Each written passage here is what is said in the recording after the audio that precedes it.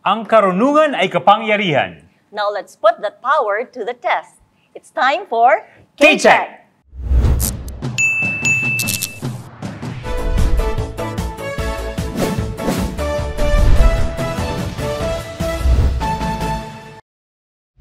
Hello everyone, I am Junel Labor. Ako po si Aimee Sue Martinez and this is K-Check, the newest and smartest game show on Philippine television. We searched all over the country for people na hindi nagsasawang dagdagan ang kanilang kaalaman. For 12 straight weeks, titignan natin kung gaano katindi ang brain power nila. And in the final week of the competition, malalaman natin kung sino ang kauna-unahang tatanghaling K-Check champion. Jeren Skuwaki is a BS Information Technology senior from PUP na laging sumasalit sa mga quiz shows. Christine Magpile is a graduate of the University of Santo Tomas with a degree in secondary education. She is a teacher and an award-winning author. Makoy Arcega calls himself a Bicolano millennial. And Missy Darcen is an emerging visual artist and a freelance graphic designer. She is a student from UP Diliman. These four will be competing under the watchful eyes of today's K-Check panel of experts. Professor Anril Tiatco, Chairperson of the Department of Speech Communication and Theater Arts, UP Diliman.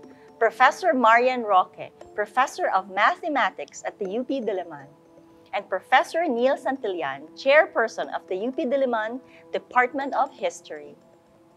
And now, contestants, papasok na tayo sa K-Check Paramihan, where each correct answer is worth 10 points. This is your chance to bank as many points as you can in 2 minutes and take the all-important early lead. Let's begin!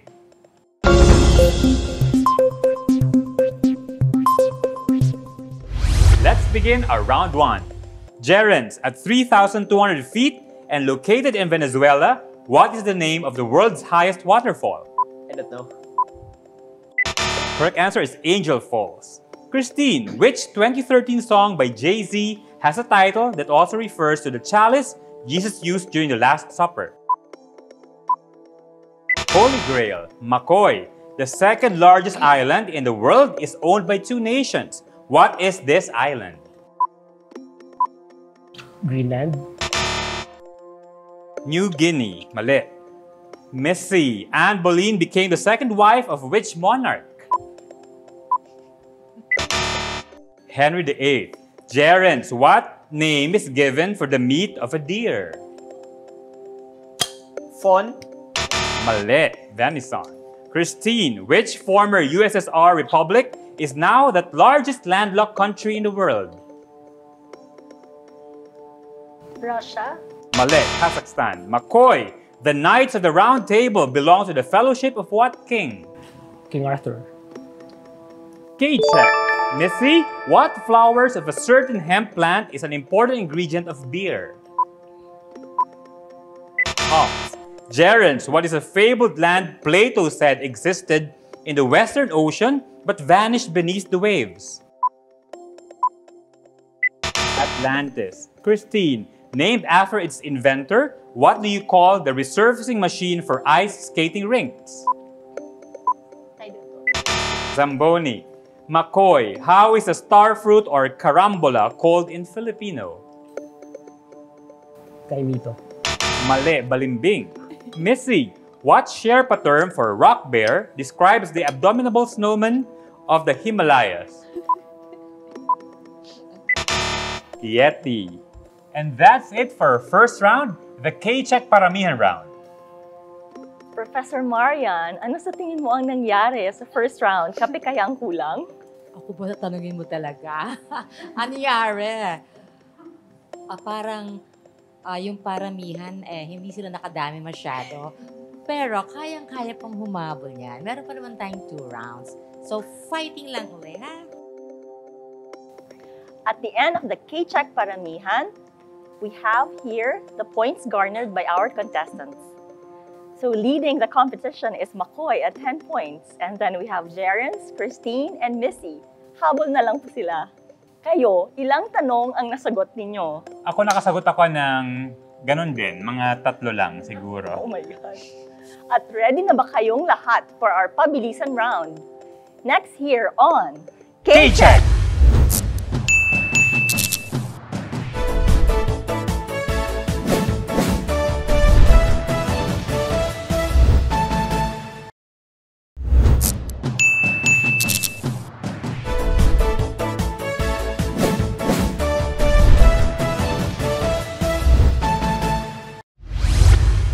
Pa rin ang ating karunungan check. But before we continue, may question muna ako kay Jerens. Curious lang ako, paano mo nakuha yung name mo? Kasi medyo unusual. Ah, galing po sa nanay at tatay ko.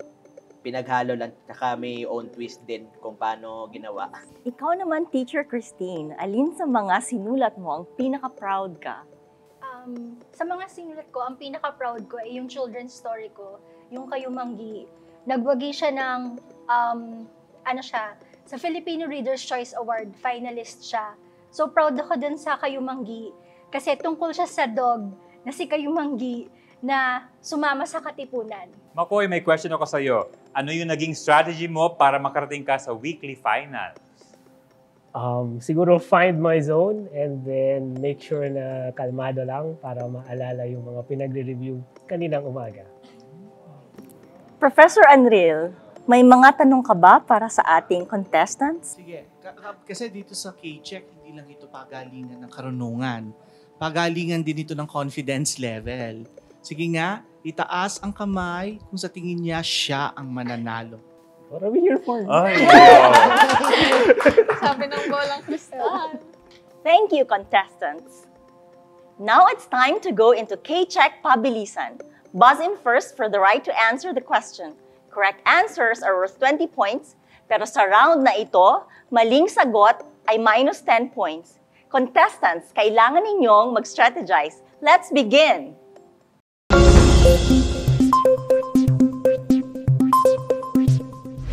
Let's begin our Pabilisan Challenge. For the first question, which Filipina won a silver medal in the women's featherweight boxing class at the London Olympics in 2021? Jerens, Ah, Nesty Petesio. okay, check. Next question. Shakira recently saw her single, Don't You Worry, hit the music charts. What group that includes Apple the App recorded Don't You Worry with Shakira and David Guetta? Jerens, The Black Eyed Peas. Okay, check! Which common open wireless technology was named after a king of Denmark? Makoy. Sorry, Bluetooth. Okay, check! Which 1991 film became the third one to win the top five Academy Awards? Best Picture, Best Actress for Jodie Foster, Christine. Silence of the Lambs. Okay, check! Who is the only NBA player that has more NBA championship rings than he has fingers? Minus 11.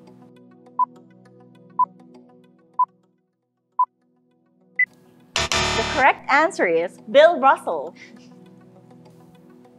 Which 17th century English physician is remembered for his discovery and description of the full circulation of the blood in the human body?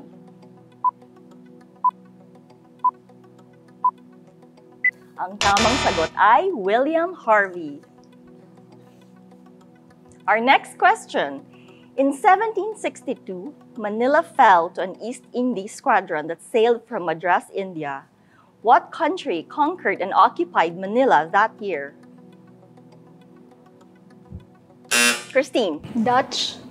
Mali.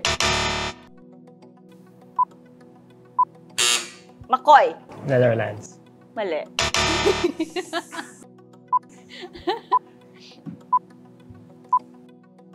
the answer is Great Britain. The Muslim calendar begins with the flight of Muhammad from Mecca to, to Medina. What do you call this historic journey? Christine. Okay, check. Named after one of Poseidon's offspring, what is the largest moon of the planet Neptune?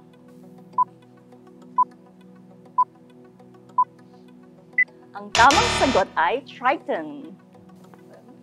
The JWST recently released images of faraway galaxies never before seen in such fine detail. What does JWST stand for?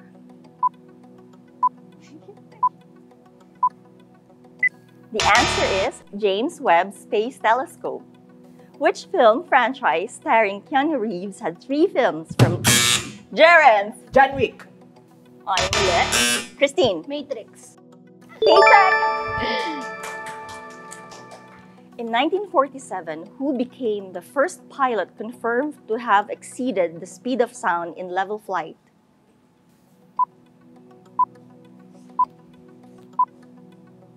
At ang sagot sa huling katanungan ay Charles Chuck Yeager. Thank you, contestants. That ends our round two. Wow naman, nakarecover talaga tayo dyan, oh. Professor Neil, what do you think? Yung mga contestants parang diesel, ah, mabagal pero dahan-dahan ang bumibilis. So lalong, sana lalong bibilisan sa next round. Thank you, Professor Neil. Silipin naman natin ngayon ang ranking ng mga contestants. Leading the competition, we have Christine at 50 points. She is followed by Jerence at 30 points. And at third place, we have McCoy at 20 points. Missy, habol! But we still don't know how his story will end until we get to the ultimate pagalingan. Up next, here on K-Check!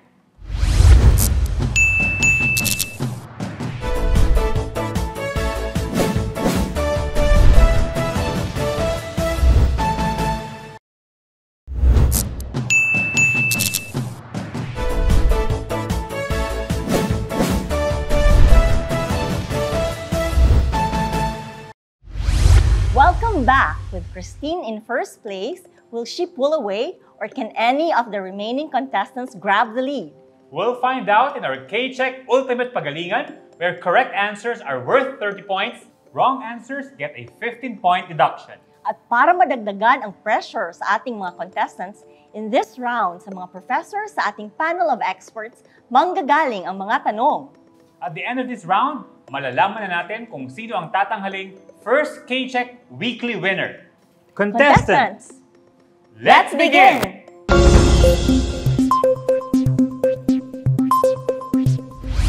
Ang round na ito ang definitely make or break para sa competition. Mananalo kaya si Christine at 50 points? May laban din si Jarens at 30 or si McCoy kaya at 20? Missy, habol! Junel, Let's begin. Our question number one, Prof. Anril. Okay. So, sa mga mahihilig sa bundok dyan, baka masagot nyo to. Nepal's Mount Everest is the world's highest mountain, while Nevada's Ojos del Salado is the world's highest volcano. Which country is this volcano from?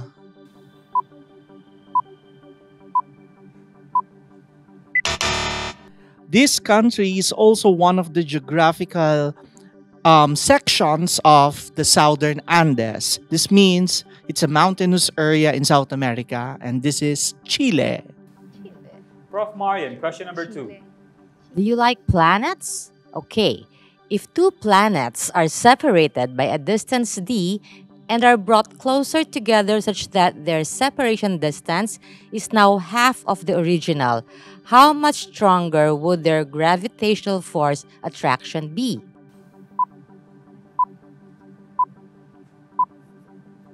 Okay, remember, force is directly proportional to the product of the masses and inversely proportional to the square of the distance. So, kung kakalahatiin yung distance times 4, yung magiging effect sa gravitational force. Thank you, Prof. Marian. Prof. Neil, question number three, please. What is the major ethno-linguistic group in Batanes? Jerence, Ibatan, Ang grupong etniko na ito ay nakaugat sa kabias ng Austronesiano na may pagkakatulad sa ilang pangkat etniko sa Taiwan. Ang tamang sagot ay Itba- Itbayat, K-check. Prof. Anril, question please. Okay, sa mga mahihilig sa panitikan, this Philippine literary tradition is a poetry composed of only four lines and each line has eight syllabications. What writing tradition is this? Christine, Dalit. If you're familiar with the sculpture Magdangal by national artist Napoleon Abueva, Rio Alma, national artist, wrote a dedication to the work through this particular literary genre, Dalit. K-check! Prof. Marian, ito na lang. May, kasabay, may kasabihang may sala sa init, sala sa lamig. Ang tanong ko, at what temperature will the reading in the Celsius and Fahrenheit scale be the same?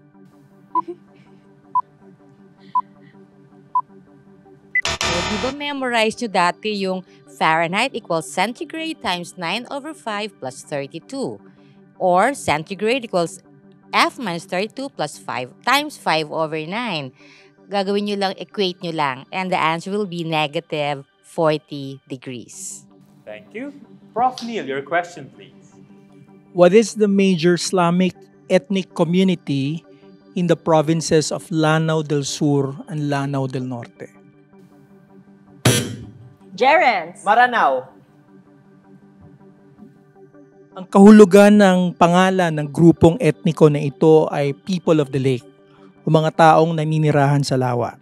Tanyag din ang grupong etniko na ito bilang mga mangangalakal na Muslim na makikita mula sa uh, lungsod ng Baguio sa Hilaga hanggang sa lungsod ng Cagayan de Oro sa Timog.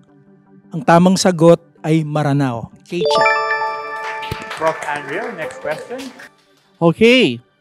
So kung kayo ay tagasunod ni The Late Cherry Hill, masasagot nyo ang tanong na ito. In 1982, Peke Galiaga directed a historical drama set in Negros during the Second World War. Well, the film starred Sandy Andalong, Joel Torre, and the late Cherry Hill. Nabanggit ko nga. And it was produced by the Experimental Cinema of the Philippines. At ang sagot ay Oro, Plata, Mata. K-check! Prof. Marian. Gusto ko namang makarinig ng buzzer, pwede? At makasabi ng K-check. O ito, madali lang to addition. What is the sum of the whole numbers from 1 to 100? Makoy. 5,050. Finally! The sum is equal to 100 times 101 over 2, 5,050. Okay, check! Yay! Prof. Neil.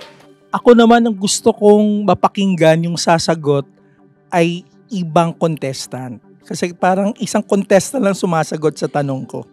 Okay, so ito yung tanong. What is the collective term for the alternative press that resisted the Marcos dictatorship?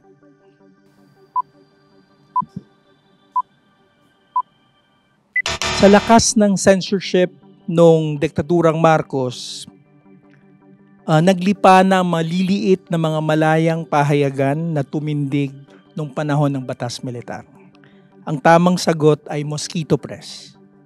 Prof. Andrew. Okay. With a length of about 500 kilometers, what is the longest river in the Philippines? Christine. Cagayan River. This river is located in the Cagayan Valley region in northeastern part of Luzon and traverses in the provinces of Nueva Vizcaya, Quirino, Isabela, and Cagayan. At ito nga ang Cagayan River. K-check! Prof. Marian. Meron ba sa inyo mahilig manood ng mga crime series? This is my question. At a crime scene, police officers usually use this to detect the presence of blood. This compound reacts with the iron present in the blood, thereby exhibiting chemiluminescence. What is the name of this compound? Makoy. Luminol. So, I think nanood si McCoy ng mga crime series. Luminol, K-check! Prof. Neil. Okay, para sa huling tanong, this refers to the natural and absolute capacity and the right of the state to carry out its own objectives and to declare freedom from the control or invasion of other states. Jaren. Liberation.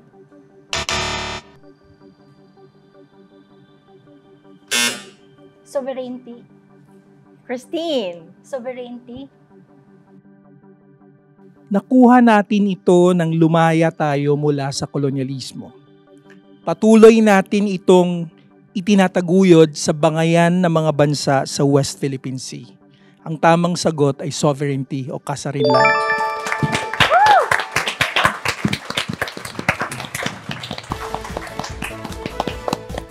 That's it for K-Check Ultimate Pagalingan. Congratulations to Christine, our K-Check Friday winner with a final score of 140 points. Christine is taking home a brand new cell phone from TVUP. We'll see her again in the semifinal. Thanks to Missy, McCoy, and Jerens for joining. We would also like to thank our panel members. We have Professor Neil, Professor Anil, and Professor Marian. This is Amy Sue Martinez. And I am Janelle Labor. Join us again on Monday for another K-Check!